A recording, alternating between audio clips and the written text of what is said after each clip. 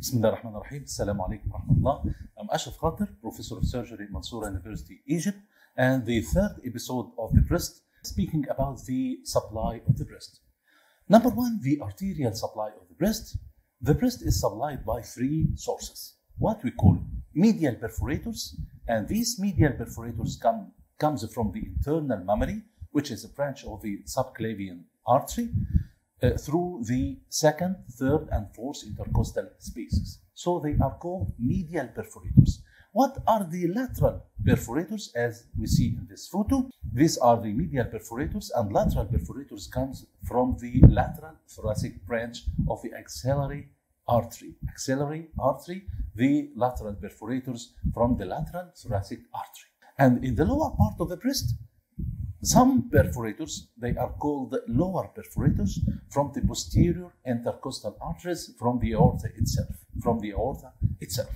What about the venous supply of the breast? The venous supply is going with the arterial supply. So the veins, uh, some are medial uh, uh, veins and lateral veins and posterior intercostal veins also.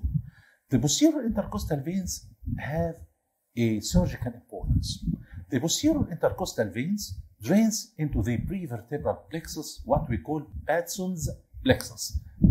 Plexus, the veins of this plexus are valveless.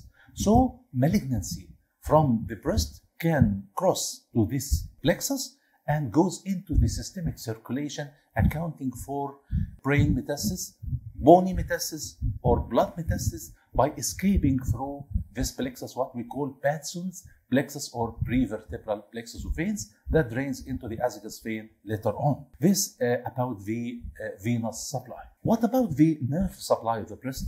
The breast is supplied by anterior and lateral cutaneous branches of T2 into T6. A very important nerve is called the intercostobrachial nerve. Intercosto means coming from the intercostal spaces. Brachial means supplying the arm, especially the medial part of the arm. This nerve comes out through, through the second space, through the second space, and traverse the axilla, traverse the axilla to supply the inner, upper inner part of the arm. What's the surgical importance of the intercostobrachial nerve? The intercostobrachial nerve is surrounded by the central group of the axillary lymph nodes. And during mastectomy and axillary dissection, we can sacrifice this nerve that results in burning sensation, numbness, and tingling of the medial part of the arm. And if the lymph nodes are free, we can preserve the intercostobrachial nerve. A very important two nerves are related to mastectomy. You must preserve uh, both Number one, the long thoracic nerve of Bell. Long thoracic nerve of Bell. Long thoracic nerve of Bell is supplying, is called nerve to serratus anterior. It comes from 5, 6, and 7 roots of the brachial plexus. The long thoracic of nerve of Bell runs all over the medial chest wall, and you must identify during axillary dissection and preserve this nerve because injury of this nerve results in winging of the scapula. The second very important nerve is what we call the thoracodorsal nerve or nerve to latissimus dorsi muscle that uh, arises from the posterior cord of the brachial plexus and supplies the latissimus dorsi muscle and if this nerve is cut it runs with the thoracodorsal vessels artery and vein and if, nerve, if this nerve is cut weakness of the latissimus dorsi results in weakness of arm extension, especially in swimmers. Especially in swimmers, weakness of the arm extension will occur. So both nerves must be preserved during axillary dissection and mastectomy, long thoracic nerve of Bell and thoracodorsal nerve to latissimus dorsi. These are the important nerves to be discussed with the breast and then shifting to a very important issue what about the lymphatic drainage of the breast? Simply, as we see, uh, there is what we call subareolar plexus of Sappey that drains the skin of the breast to drain into a deeper plexus, as we see in the diagram, and the deeper plexus drains into the submammary space, submammary space, to drain into either the axilla uh, laterally or the internal mammary medially and so on. So actually 75%, 75 of the breast is drained into the axillary lymph nodes.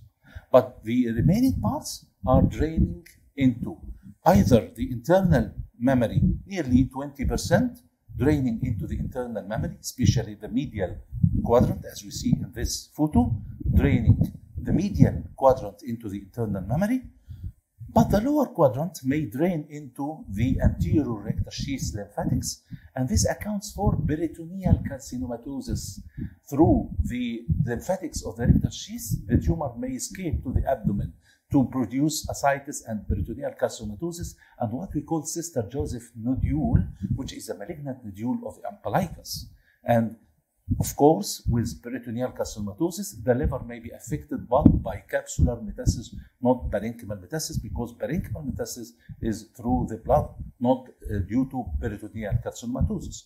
Also, some of the malignant cells can escape to the posterior intercostal lymphatics also to escape with the venous lymphatics to the Batson's plexus also. This accounts for systemic spread of the breast cancer. So these are the distribution of the uh, lymphatics. What about the anatomy and levels of the axillary uh, lymph nodes? And this is a very important question. As we see in this photo it is an illustrative one the levels of axillary lymph nodes. Number one, the basal group.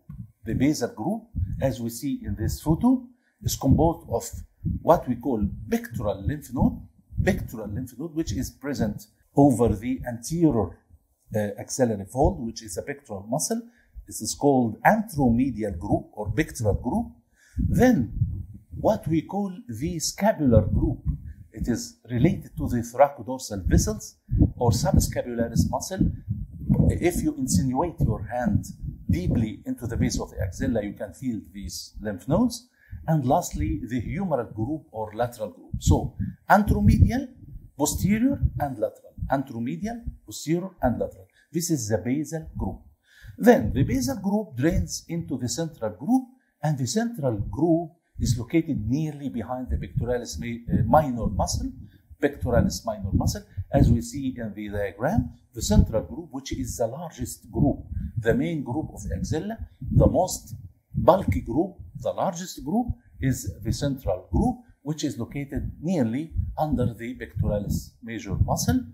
And the central group drains into the apical group. And as we see, the apical group is below the level of the axillary vein.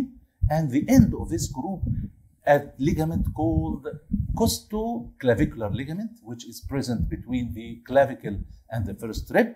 This is the end of the apical group, and then the infraclavicular lymph node, then the uh, supraclavicular lymph nodes, and they are dividing the levels into level 1, 2, and 3. Level 1 below the level of the pectoralis minor, level 2 behind the pectoralis minor, and level 3 above the level of the pectoralis minor. And by this, we come to the end of this episode. Thank you and see you in the next episode, inshallah. Assalamu alaikum wa rahmatullahi wa barakatuh.